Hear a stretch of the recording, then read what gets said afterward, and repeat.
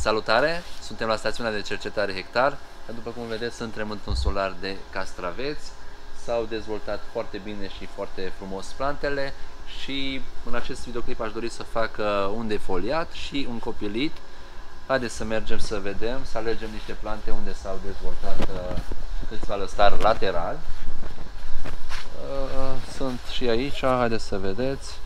Uitați ce copil se poate elimina foarte simplu printr-o rupere simplă. Așa și mergem și mai sus. Acest copil mergem și mai sus.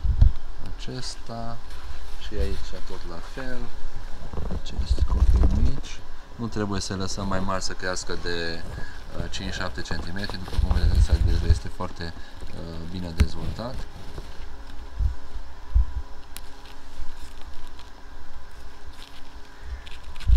această cale facem și o conducere a plantei. Așa. Până sus.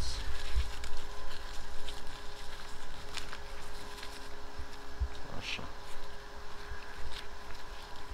Este același sistem ca și la culturile de tomate și la ardei. Este foarte simplu. Se trage ața în caz că nu este echilibrată planta. După cum vedeți, este foarte stabilă, nu este Uh, este bine susținută și putem face și o defoliere a frunzelor a trei frunze.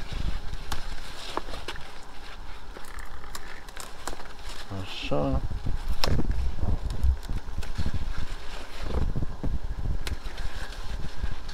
Este singura cultură uh, în care trebuie efectuată această lucrare esențială a copilitului cam de două ori pe săptămână și bineînțeles până la terminarea ciclului vegetativ planta de castravete trebuie copilit în continuu ca să obținem rezultate mult mai stabile, echilibrate și bineînțeles fructe cu o calitate superioară să nu uitați în această perioadă să mențineți umiditatea relativ optimă, temperatură optimă și bineînțeles să ținem cont și de factorii climatici.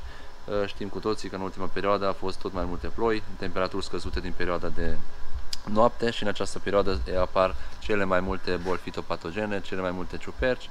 De aceea vă recomand tratamente preventive la interval de 10-14 zile cu diferite fungicide uh, sistemice sau diferite fungicide pe bază de cupru și pentru a menține cultura, bineînțeles, să vă verificați dacă sunt probleme cu dăunătări. Aici vorbesc de, bineînțeles, de paianjenul roșu comun și de multe, multe alte insecte.